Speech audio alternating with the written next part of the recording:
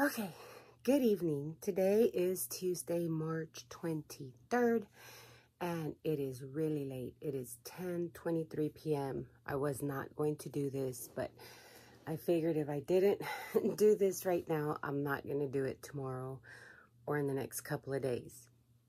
First of all, um, I'm really happy to say that I have already gotten a couple of messages from, well, no, a few messages from a few of you uh, letting me know that you received the yarn, and I'm so excited. Um, I got to see um, one of you guys' um, samples, crystals.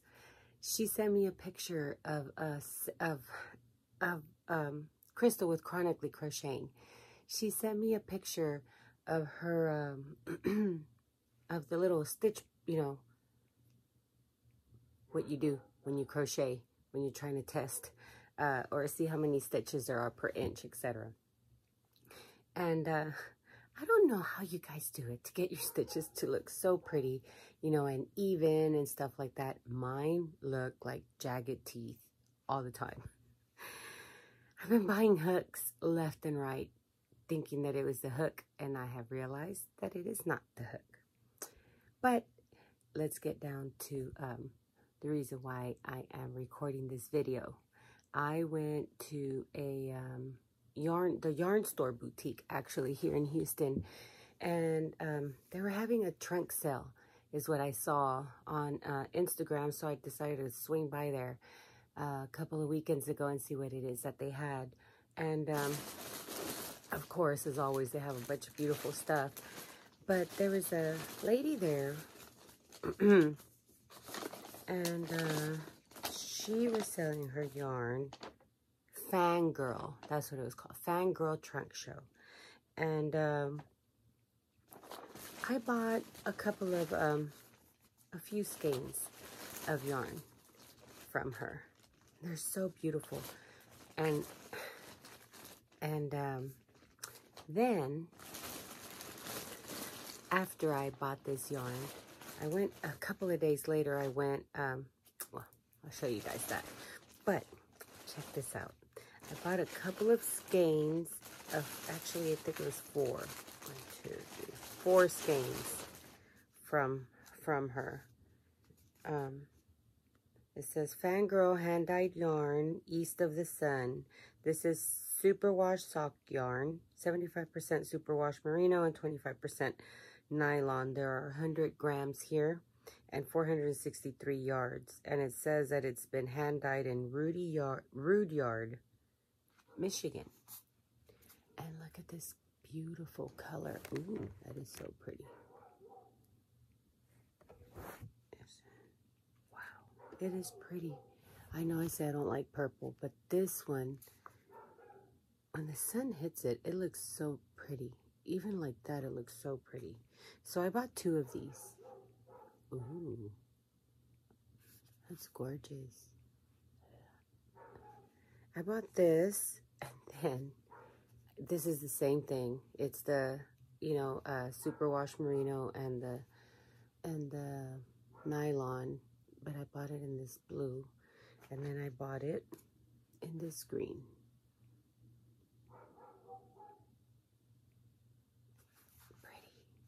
Pretty.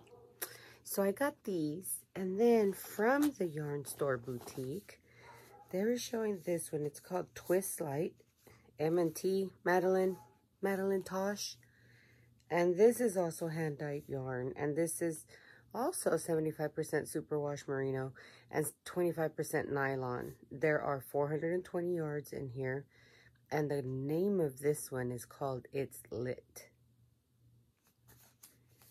and it is so pretty. I don't know why I've been gravitating so much towards greens and yellows and I just took a shower. um, look at that. That is so pretty. Do you guys, like, whenever you buy all of these these kind of uh, yarns, do you guys like cake them up immediately and then put them up I don't know what to do with mine. I'm starting to collect more and more and more of these kinds of yarns. And um,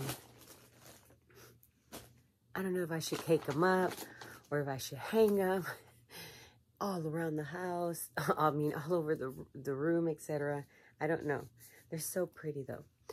But a couple of days later, I went to uh, Hobby Lobby because while I was at the yarn store boutique, there was a real pretty yarn there that I really wanted to buy. And then I thought about it and I was like, you know what? I already bought that color or something real similar to it at Hobby Lobby.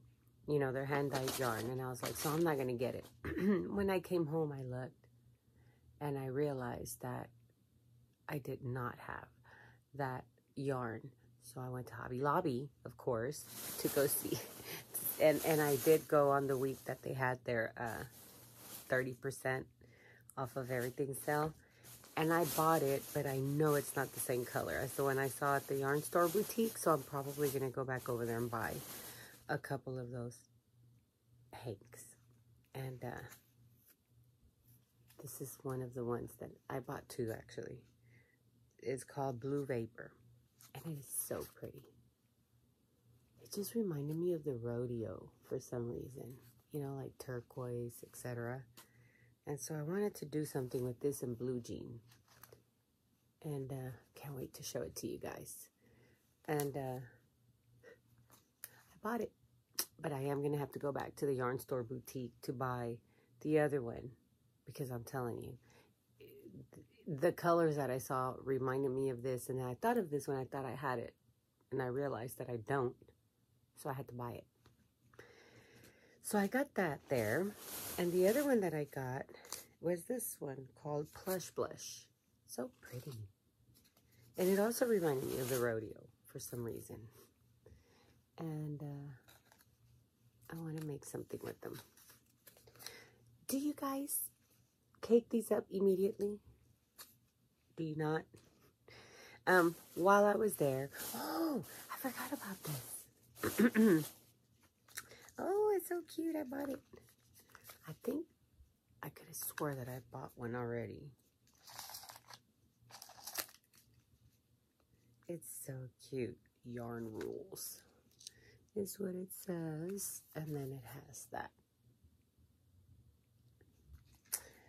Okay, so that was, oh, and then I bought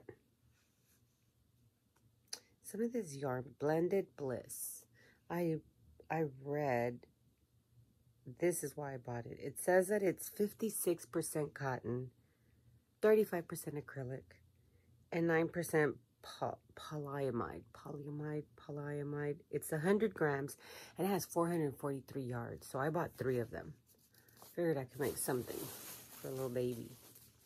Or for like a summer top or something like that. So I bought this, and I don't know why. I don't even know what I'm going to make. I'm probably going to make a couple of muscle shirts, you know, those razor tee backs or something like that. But um, I have been collecting these. Every time I go, whenever I can, I'll buy two. I have that eggplant color. I have the uh, spring or April blossom, April bouquet, or something like that put away already. And then I have Sunday denim. I didn't know which one to get next, so I figured I'd get this one. Once again, blues, yellows, etc. So that's all I got.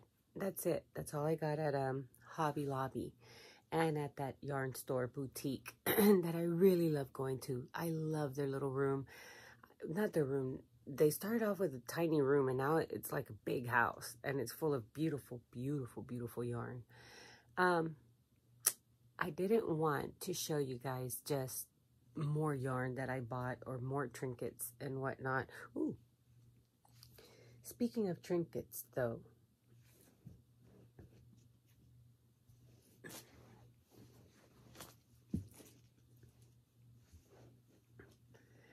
I ordered a few, I, I told you guys, I've been ordering hooks. Um, I'll show you this one. The tulip this is in the size uh, 2.5 because I've been working on, I've been working on, on on a lot of WIPs And I've been starting WIPs. I am like a true blue WIP starter. And uh, so I've decided that I'm not going to start anything anymore for the rest of this week until I finish a few. And so I'm almost finished. I did, I worked on this one. Um, it is a blouse and I made it too long. I haven't added the buttons yet. And I did the sleeves and they fit and everything, but I'm probably going to make them a little bit, um, I think one's longer than the other. I made them the exact same size. I placed them in the same area, but now I feel like I'm like this. I don't know. Anywho, so this is so easy to make. I don't know if you guys noticed, but I'm on this little pet. This is how I made it. This is how it looks from the back. I made it, it's too low from the back. And so I'm working on another one and I probably will not make it the same way.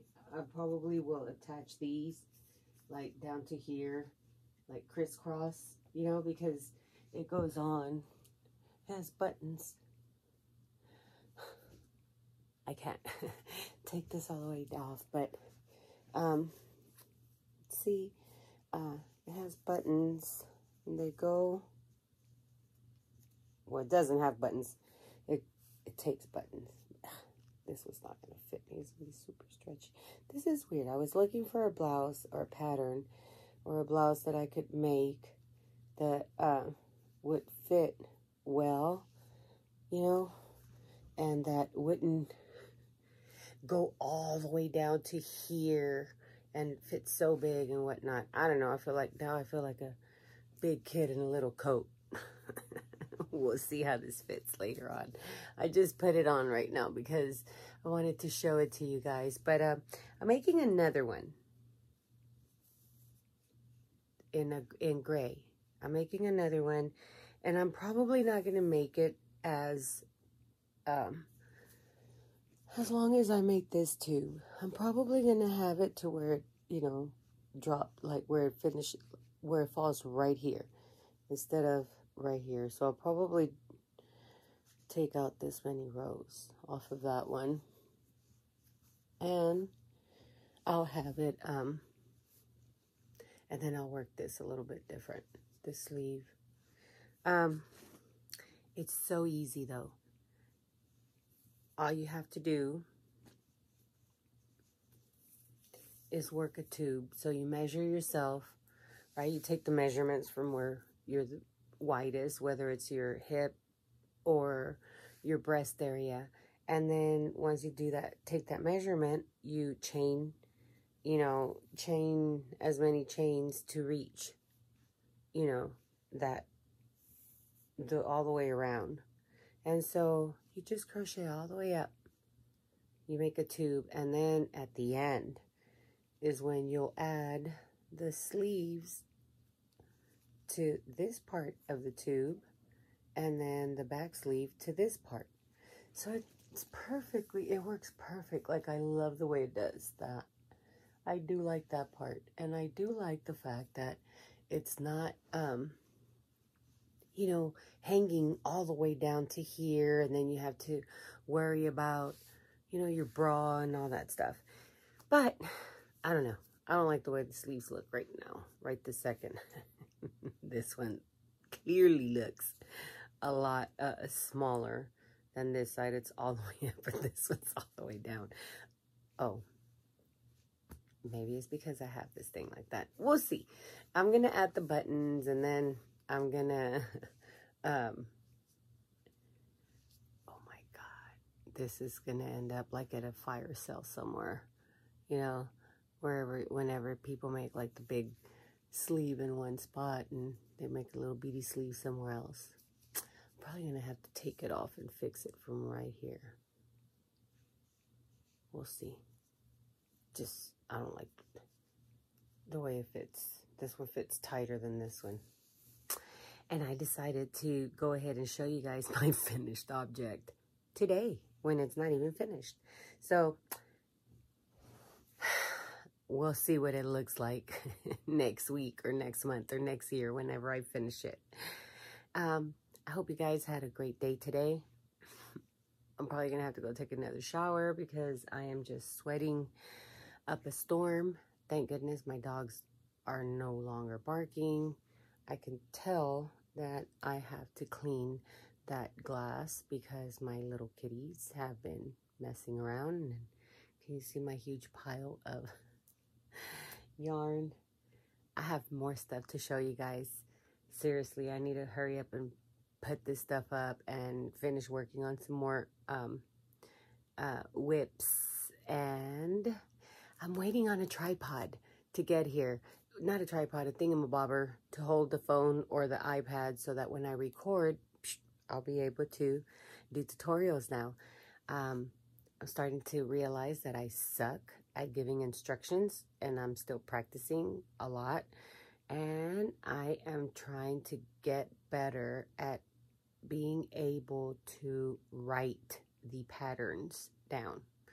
Um, that's it. I hope you guys have a great evening um, or a great rest of your evening or a great morning. I don't know when you'll see this video.